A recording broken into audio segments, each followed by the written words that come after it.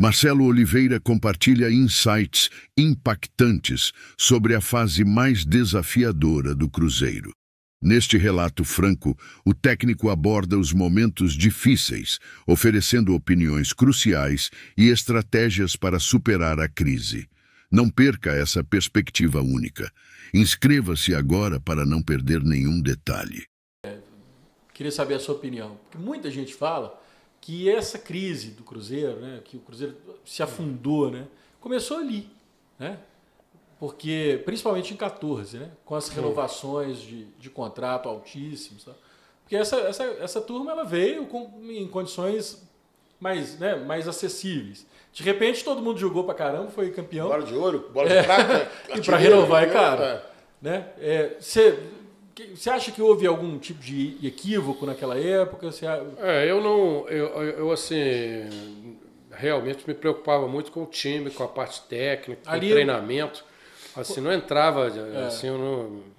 Sabe, é, é, existe o técnico que faz isso, o europeu faz muito isso, é um manager, né? Ele entra. O Guardiola ele pega o, o investimento que tem e vai contratar, e ele que Isso. não é o caso aqui, pelo menos o meu eu não. Tirando o Luxemburgo é, que quer fazer. É, não sei, tem outros também que fazem, não está errado não, às vezes o cara, né? Mas eu não, não gostava disso não. Então, eu, o que eu acho é o seguinte, que não tinha como, cara, assim, o tanto de torcedor que foi a campo, o tanto de camisa que vendia, que é, sócio, aumentou tudo. E a não ser que no futebol tem muito isso. Às vezes você pensa que o jogador é do clube. No, no Curitiba aconteceu isso. Eu botei um jogador para jogar de lateral esquerdo, ele, ele era zagueiro, o Lucas Mendes, e foi muito bem, destacou, foi para a França. Aí o diretor, conversando com ele, falou, pô, entrou um dinheiro bom, porra e tal. Aí ele falou, não, é, é, era só 45% que era do clube. É, então, isso acontece Isso a gente não sabe, né, cara? Isso eu não tenho. É, isso aí, dá, isso aí realmente dá uma, esse uma time, quebrada. Esse, esse, time de 13, 14, Marcelo, que é um time dentro de campo é, é, flui muito, te dava algum problema assim, de disciplina, algum problema de relacionamento lá? Tinha alguma Nada. treta nesses jogadores? Eu Porque parecia muito unido. Acho que um dos grandes qualidades era isso, que era nós conseguimos um, atletas é, que jogavam bem, conseguimos montar o time e o ambiente era super saudável. Teve uma vez, no início, é, nós ganhamos clássico e depois começou o Campeonato Mineiro, a Copa do Brasil. E aí teve um dia que teve algum problema lá e, e pediu para fazer uma reunião e trazer os, as lideranças do clube.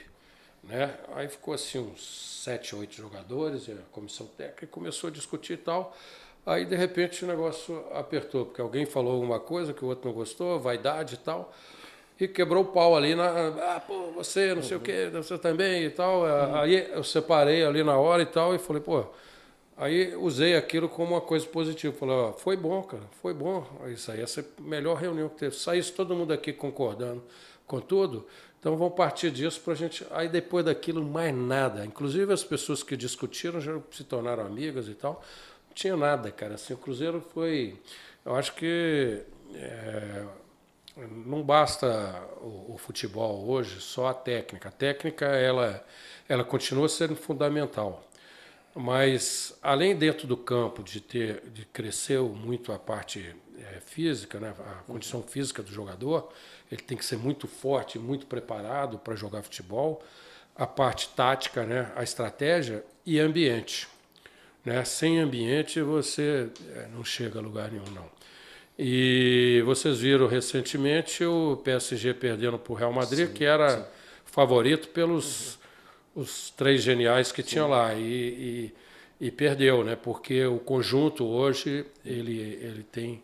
Parece ele não tem. Agora, se você fizer isso com jogadores bons, é, aí né? fica tudo mais fácil. Aí fica tudo